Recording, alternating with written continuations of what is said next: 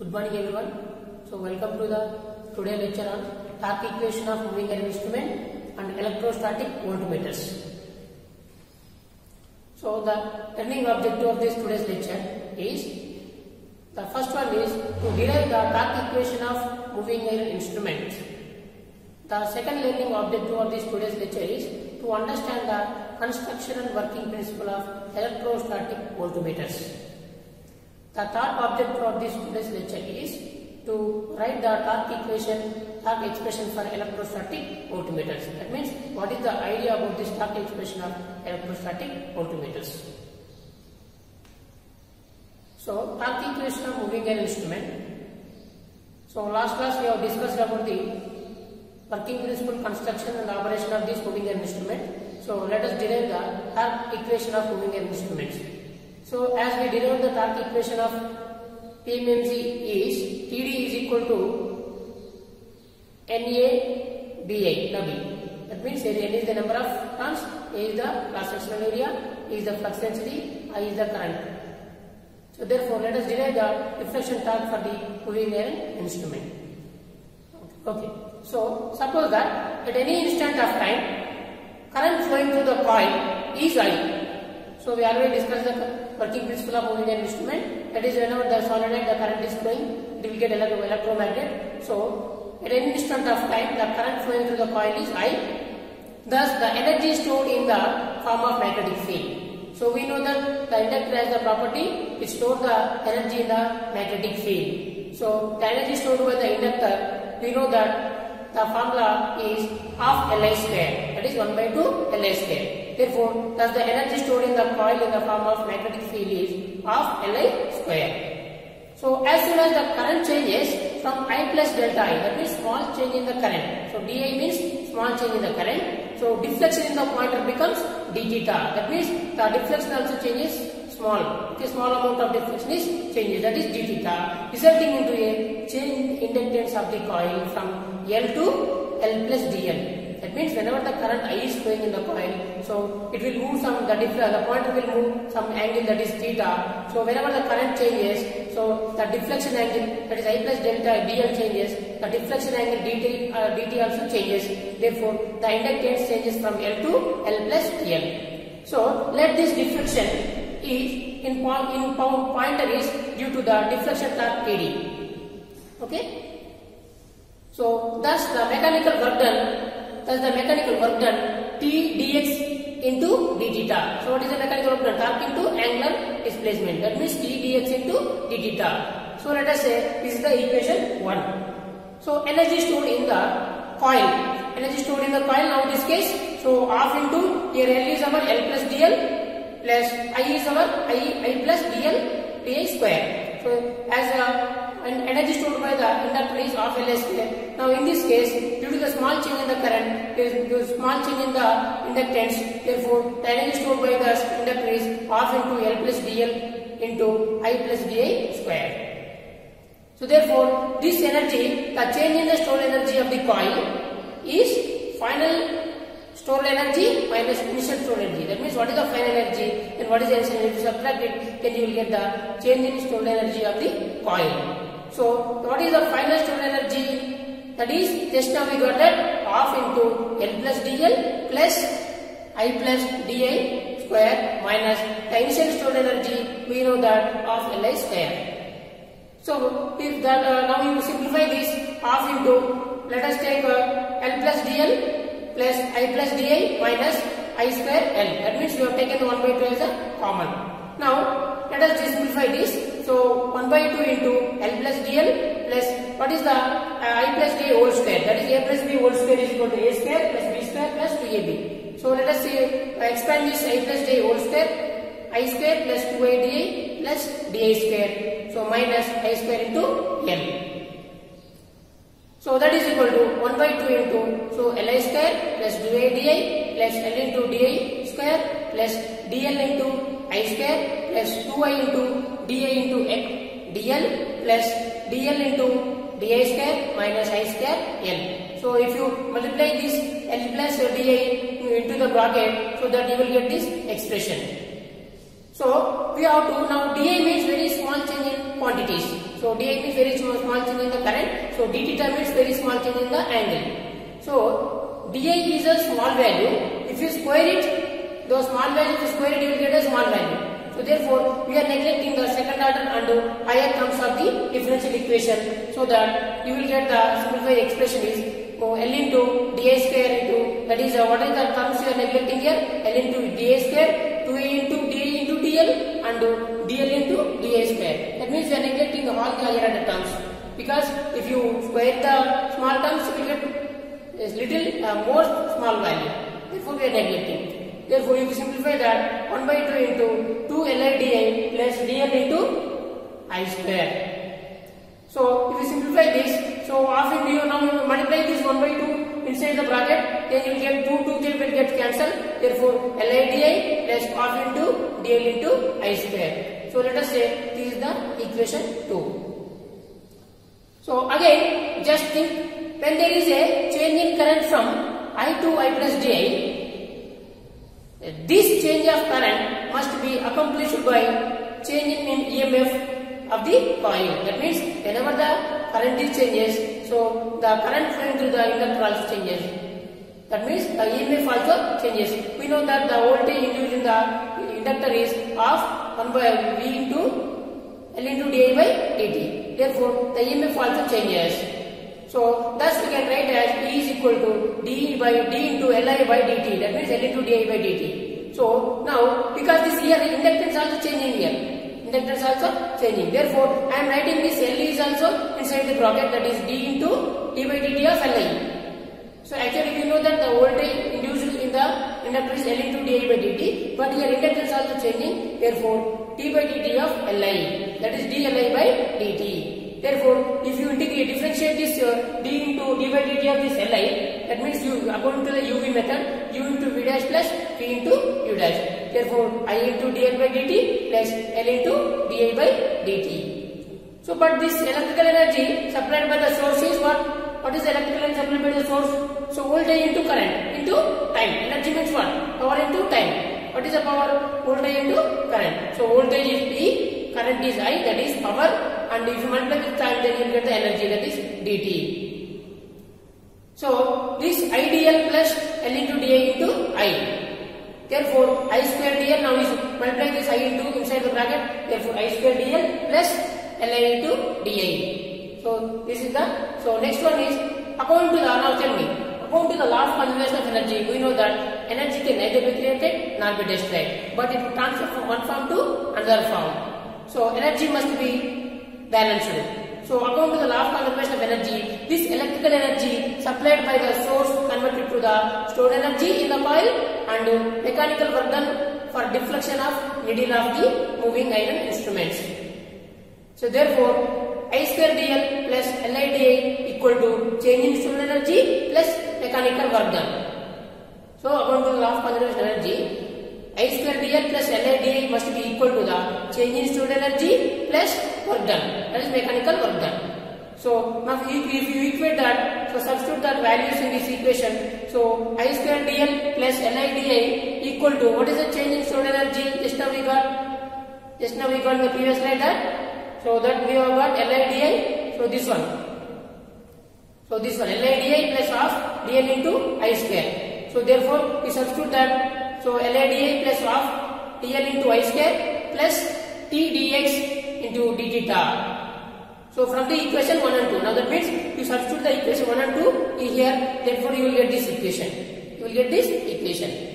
So therefore now you simplify this equation. Now we want to td into d theta equal to half into dl into i square. So td now we want the td. td is equal to half into i square into dl by d theta. So this is the expression for the torque, uh, deflection torque in the moving iron instrument. Thus, the deflection torque in moving iron instrument is given as Td is equal to 1 by 2 into I square into dl by dt theta. That means the deflection torque in the moving iron instrument depends upon the changing inductance with respect to the theta.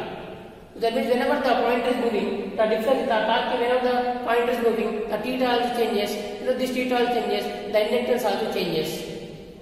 Hence, because of this deflection torque is proportional to the depends upon the inductance. Therefore, this instrument is less accurate because the inductances are the inductance is a function of the frequency also. So there, therefore this is the reason the moving iron instrument is less accurate compared to the PMMC instrument because frequency function it is a function of frequency. So therefore frequency error is also more in the moving iron instrument as we discussed in the last class. Now let us see the electrostatic voltmeters. So we discussed the PMMC instrument and moving iron instrument that is MC and MI. So we concluded that moving air instrument is best suitable for measurement of DC only, DC voltage and DC current. And we can measure the high voltage currents by using the multiplication factor that is uh, connecting the shunt resistor and series resistor so that means extension of voltmeter and ammeter at PMMC and uh, EMI moving iron instrument also we can measure for both uh, measurement of both AC and DC but it is best suitable for measurement of AC only. Even though it is suitable for measurement of DC but we cannot uh, measure the DC because less accurate. But by using this moving iron instrument okay we cannot measure the high voltages like kilovolts okay 400 kV 500 kV 1000 kV like that. So therefore there is another instrument to measure the high voltages which is called electrostatic voltmeter. Electrostatic voltmeter. So what is meant this electrostatic voltmeter means as the name suggests the electrostatic type instrument uses static electric field to produce the deflection torque in both the PMMC and moving iron instrument to produce the deflection torque, what is the responsible quantity? The responsible quantity in both the instruments PMMC and moving iron is current. That means in both the cases the torque is proportional to the current. That means in the PMMC the torque is proportional to the current. In the moving iron instrument the torque is proportional to the square of the current. TD is proportional to I in the PMMC, TD is proportional to the I square in the moving iron instrument. But now let us see now in this case electrostatic voltmeter definitely the torque will be proportional to the voltage here. It is a function of voltage. Therefore it will measure the high voltages. So let us see the working principle of this uh, electrostatic voltmeters. So these type of instruments are generally used for the measurement of high voltages. That is the special purpose instrument. This electrostatic voltmeter. to measure the high voltages. We will use this electrostatic voltmeter. So now let us see the construction for these electrostatic voltmeters, electrostatic instruments. Now see this uh, diagram. So now this arrangement consisting of two plates. One is called fixed plate. Okay, one is called fixed plate, and another is another is movable plate. Okay, this fixed plate is fixed to the some bolt and this movable plate is attached to the spindle. Okay, this spindle is pivoted with the help of these bearings. So jewel bearings to reduce the frictional losses. Okay, to reduce the frictional errors, we are going to use the bearings. So this spindle is pivoted with the help of bearings and this uh, point, the spring is attached to this spindle. That means whenever the spindle is rotating, whenever the spindle is rotating, so this spring will store the energy. So that means it will hold the spindle. That means it will oppose the deflection torque. What is the purpose of the controlling torque? Controlling torque purpose is to oppose the deflection torque. Okay, so now you apply the voltage. Apply the voltage. So plus connect, connect the one, one plus to the one plate minus to the another plate. So what is happening here? Now we know that this system possesses the property of capacitance. We know that whenever the two electrodes are separated by distance d, so the with, the- with the help of dielectric medium, then it will possess the property of capacitance. That means whenever you connect this voltage, whenever you apply the voltage, so the plus charge will accumulate on the uh, upper plate, that is a movable plate, and the negative charge will get accumulated on the fixed plate. Now therefore, this will possess the electrostatic field. Property of capacitor. That means it will store the energy in the form of electrostatic field that we know that of CV square 1 by 2 CV square. That means whenever the capacitor, the stored energy in the form of electrostatic field is of CV square. Then whenever the one of the plate is fixed and other plate is free to move, so these plates are oppositely charged in order to have attractive force between them. Because we know that like poles will get attract with each other, unlike pole will get repel with each other. Therefore, plus Q minus Q means what? It is a like unlike poles, they would attract with each other. So this is the principle, the basic principle from that is a Coulomb's law. Coulomb, what is the Coulomb's law state that? Coulomb's law state that so the two, two charge carrier, the two charges, or whatever, whatever it may whether it is a, a like charges or unlike charges. If display is separated by distance d, then there must be a force of, there must exist some force. If those charges are like charges, then there is a repulsive force exists between them, and there is a, if the charges are unlike charges, then the attractive force exists between them.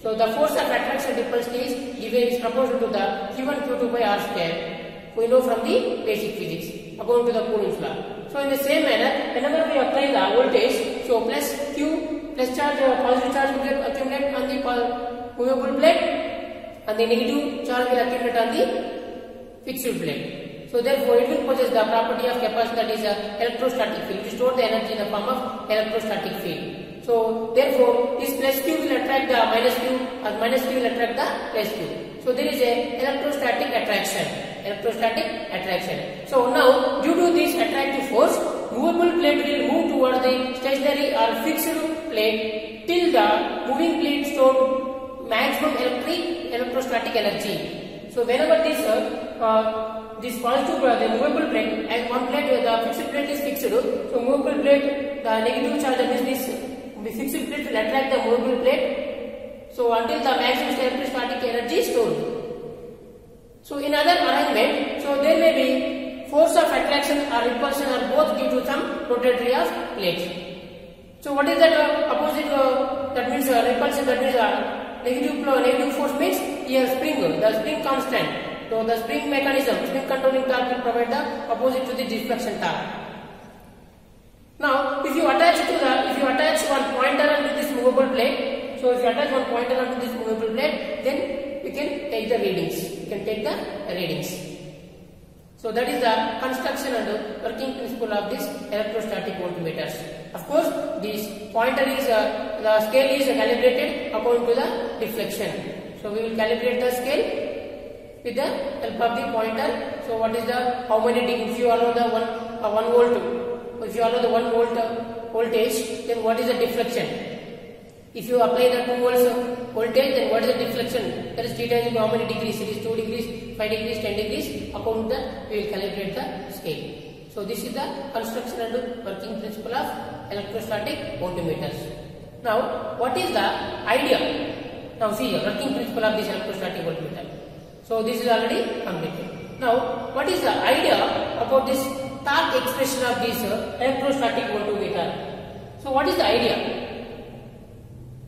Simply, so the we know that there is a, there exists a force of attraction between this fixed plate and moving plate. So the force of attraction is proportional to the q square. So according to the Coulomb's law, q1 q2 by r square. So therefore q1 q2 here q therefore q square. That means the charge. The force of attraction is directly proportional to the square of the charge. But we know that C equal to Q by V. C equal to Q by V. Therefore, Q is uh, Q is proportional to the V. Therefore, Q square is proportional to the V square. But we know that what is the torque? Torque is equal to what? Force into distance. Therefore, TD is proportional to the F. That is proportional to the Q square into but Q square. But that Q square is proportional to the V square.